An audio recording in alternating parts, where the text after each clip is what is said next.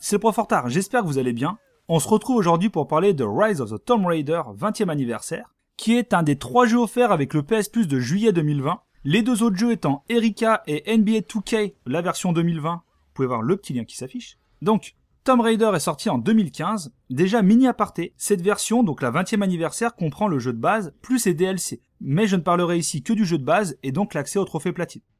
C'est un jeu d'action-aventure, mais je pense que je ne vous apprends rien. Alors, la description que l'on peut trouver sur le PS Store est Dans Rise of the Tomb Raider, Lara Croft embarque pour sa première expédition de Tomb Raider dans les régions hostiles de la Sibérie. Ok, et niveau platine, ça donne quoi? Bah, il s'appelle Platine. De la simplicité. Tu fais toujours la même. Ils font pas d'efforts, alors j'en fais pas. Ok, c'est recevable. Bon, le listing trophée pour en arriver là est de 64 bronzes, 0 argent, 1 or, et dans tout ce petit monde, 10 sont en ligne. Ça nous fait donc 66 trophées au total, dont 10 sont liés à l'histoire principale. Je rajouterai que aucun trophée n'est manquable grâce à la sélection de chapitres.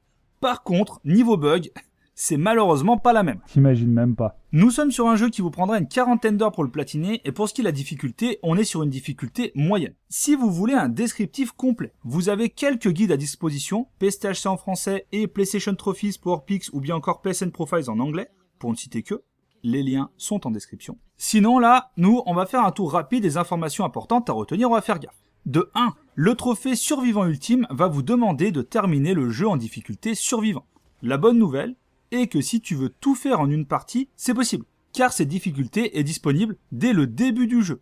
Et en plus, c'est pas la difficulté maximale. Ouais, facile quoi. Pas facile facile, mais on est proche de l'extrême de Uncharted, donc bien abordable.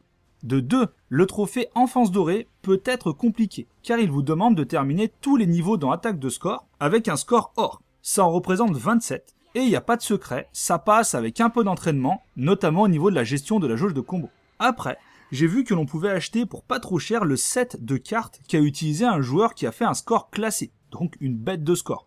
Ça peut être intéressant à creuser si vraiment tu bloques. De 3, gros gros gros point noir du jeu, les bugs.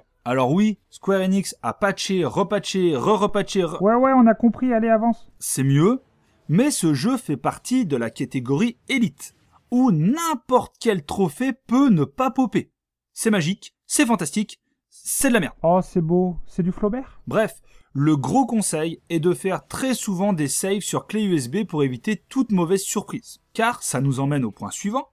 De 3, le trophée remué ciel et terre vous demandera de terminer le jeu à 100%, et donc emmènera pas mal de trophées dans son sillage. Alors, le listing du 100%.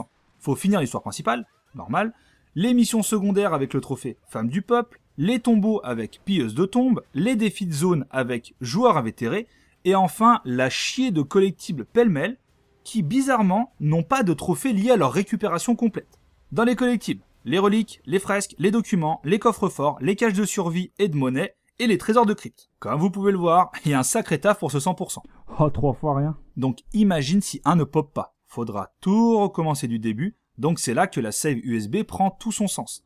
Et en plus, si je rajoute que certains joueurs ont un bug sur les collectibles à la toute toute fin, je pense que ça va finir de convaincre les plus sceptiques. Comme la fosse Ok, on va faire comme si on n'avait rien entendu. En fin de 4, bon, j'ai dit que je ne parlerai pas des DLC, mais on est quand même là pour rendre service. Ah, quel altruisme. Si vous vous lancez dans le 100%, vous risquez de rencontrer un problème dans la chasse au collectif du second DLC, du deuxième DLC, excusez-moi, Baba Yaga. En effet, le trophée Histoire de la sorcellerie, vous demandant de récupérer tous les documents dans le vallon maudit, peut ne pas popper.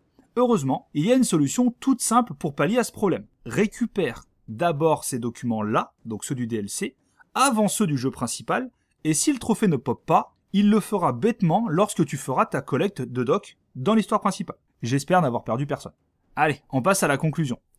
C'est un jeu et donc un platine qui a l'air sympa, abordable et qui donne envie, même s'il n'est pas tout jeune. Par contre, il est clair que le côté bug peut en faire fuir certains, moi y compris. J'ai déjà donné sur Mafia 3, alors est-ce que je veux retourner dans cette tourmente? Bonne question, on verra. Allez, bon jeu, Harvey.